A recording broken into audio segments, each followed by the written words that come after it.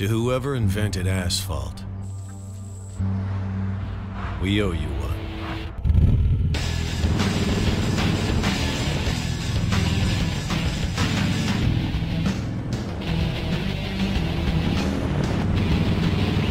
The Vulcan 1700 Voyager. There's a story behind every mile.